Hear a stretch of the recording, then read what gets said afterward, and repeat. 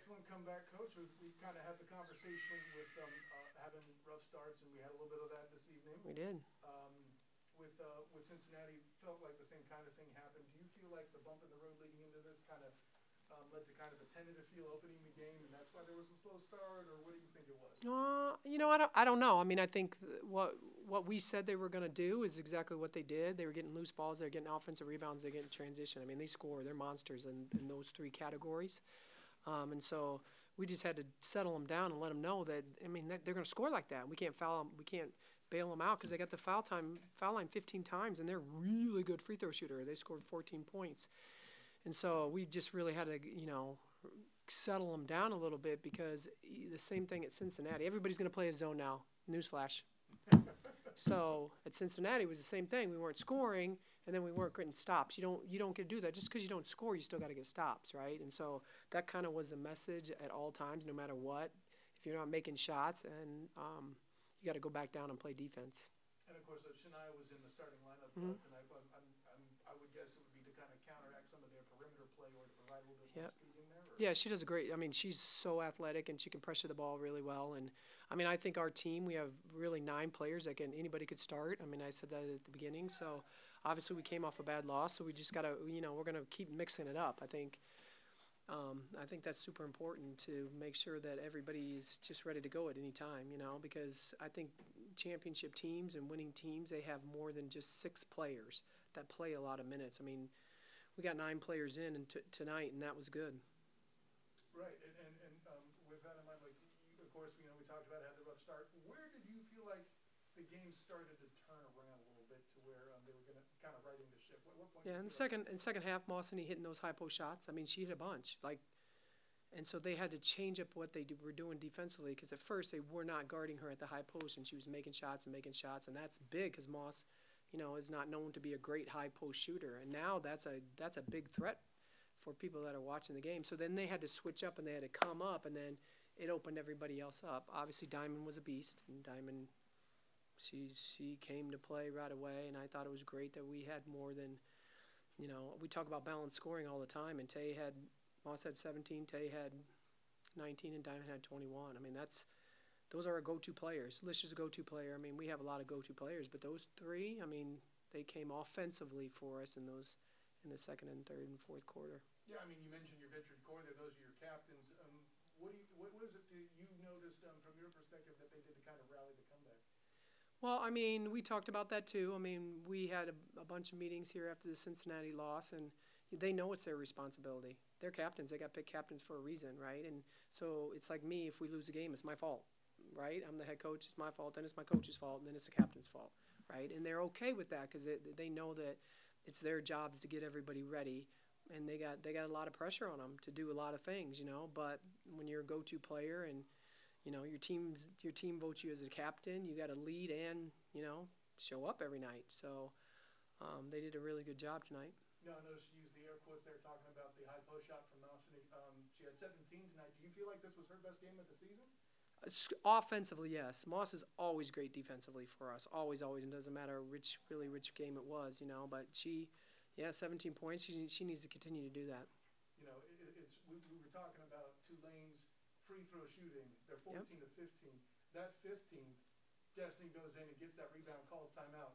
Yep. I mean, that, that starts the uh, the the uh, the uh, trip towards the end of the game. There, how big was the play in the last uh, few seconds? Well that's what destiny does she rebounds and she hates to lose and she goes in there and gets those rebounds and obviously we've been in a lot of situations like this already where we got to call timeout and bring them up right and they hadn't fouled us so they had to get a bunch of fouls there foul foul foul that took some time off the clock right so um, but that's what destiny's great at i mean everybody's great at something and you got to be really good at the one thing you're great at especially in big games like this they're a really good team really good team really well coached um, they got a lot of really great players. I mean, they're they're kind of they're a team to reckon with. They're good. Uh, what, is there something that um, you noticed that that's kind of a signature for what they do compared to other teams in the conference um, that helps them be such a high scoring squad? Well, they just got so many weapons that can score, and they got a lot of people back. I think Moon really, really enhances them. I think Dynah Jones is a phenomenal player, and um, Ursula Clark is such a different kind of player. I mean, she's at the high post, and now our posts are guarding a guard, and she's just really tough. I mean, they have they have good players on the team. Krystal Freeman didn't come um, offensively as well as we did a good job pressuring her and not letting her just catch and shoot and make shots easy. But I think those three are uh, Ursula Clark, Moon, and uh, Dynah Jones are just they are they're like our three. You know what I mean? So they're really they're gonna keep coming every single game, every single time they play. So and you know she plays a different kind of defense too. I mean she she sometimes she usually goes miss man. But because we weren't pushing down as quick, or and we did, we told them to go to the rim. We got some layups, and we Diamond got to the basket, and Tay got to the basket. and We got some shots. Moss got a rim run, blah blah blah.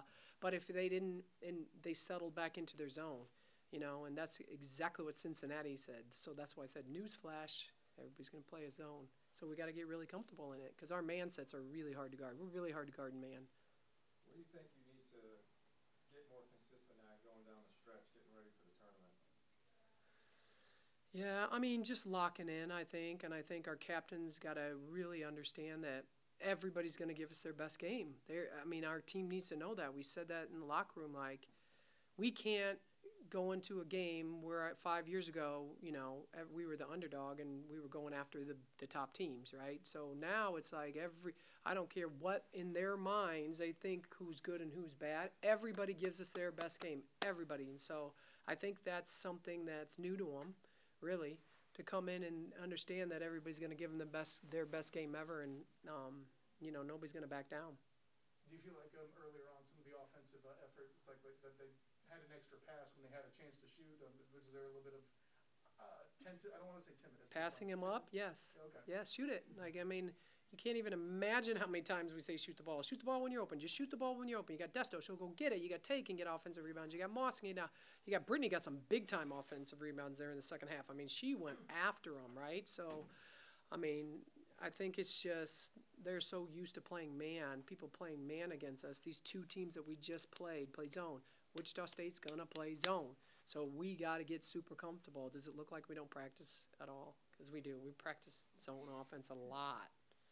Well, and, and, and to Tulane's credit, they did shoot the ball really well to make it a little harder for you to come back. Yep. I'll certainly grant that as well. Yep. But uh, going into um, the, the, the coming games, you got the uh, the road trip to Wichita State, and then you're coming back for a makeup game Yeah. um, uh, against uh, Temple. That was scheduled, I think it was like early in the month. Yep. Um, what what unique element does that bring to preparation? Because we talked a lot about scheduling and those challenges, and you've, you've managed to crowbar a time in there to make up the game.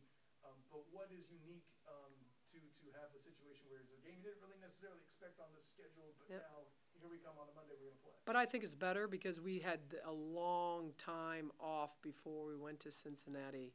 And I love them all, but to keep them focused and locked in on in that intensity is so different than game days and practice. It just is, right? And so I got to be creative in terms of the, those long that that long week was just way too long. I mean, I think personally. So I'm excited that we're going to have back to back to back games. I think we'll play better like that instead of these long, you know, I don't know how many days it was, six, seven days off. That was a long time, you know, to keep them locked in, com- the competitive edge. I mean, I think it's hard for anybody, not just us.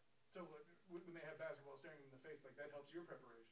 Well, it helps their preparation, not Okay. mine. My I pre- prepare I every game the same thing. right. Yeah, but them, yes, because now they're going to lock in. They know they got a game to come. They know they got to focus. They know who's coming. We're going to have a scouting report. They, it's not like I have a week off. What am I doing this week? I got all this time on my hands, you know. Like so, I think it's really good.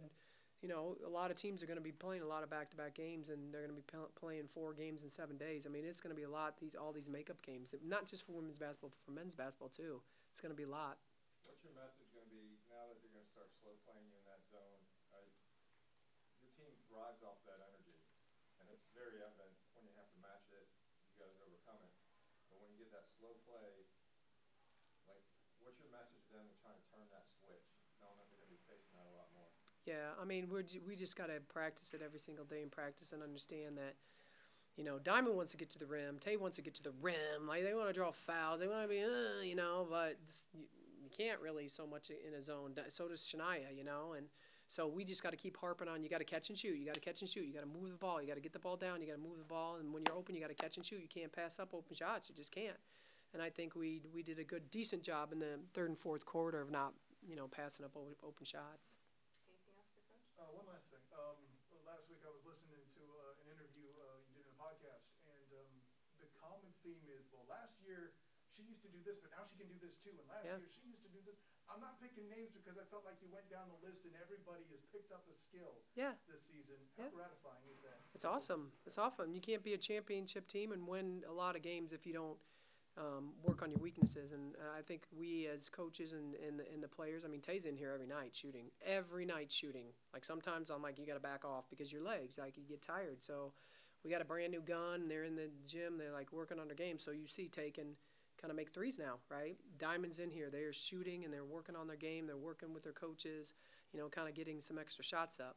So I think I think the upperclassmen especially know that that they they have to always work on their weakness because at this level and these coaches are really phenomenal. They're phenomenal coaches. All in my opinion, everybody in the league. So we do the same thing. We're going to take away your strength and make you go to your weakness. It's the same thing that they're going to do to us, you know. And I think that's just shows how strong our league is.